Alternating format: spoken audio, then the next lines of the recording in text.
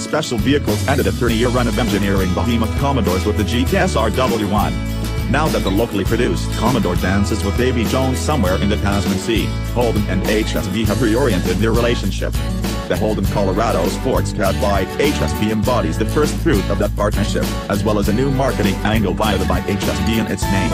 The SportsCat, based on the Duramax-powered Colorado Crew Cab Z71, defines HSV tradition in that it doesn't get one joule of extra power.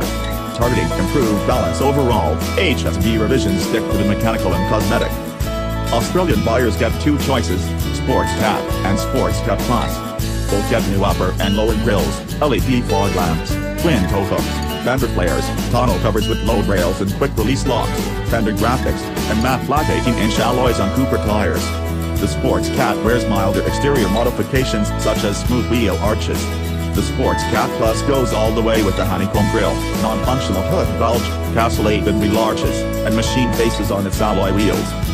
Inside both variants, unique SV Sport seats wrapped in jasmine leather and suede get lashed up with red, twin needle stitching. The instrument panel adopts the same trim, floor mats get HSV branding, and red cross stitching appears throughout.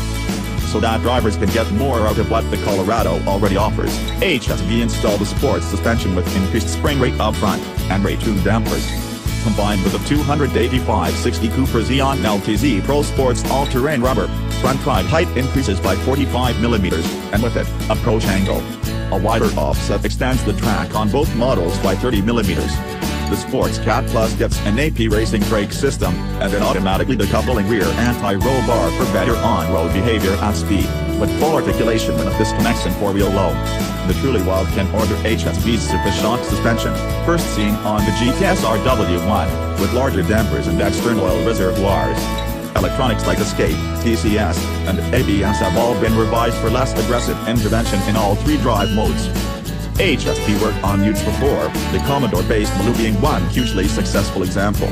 Aussie Press figures the Colorado SportsCat by HSV will take the fight to the current Ford Ranger Wildtrak and coming Ranger Raptor.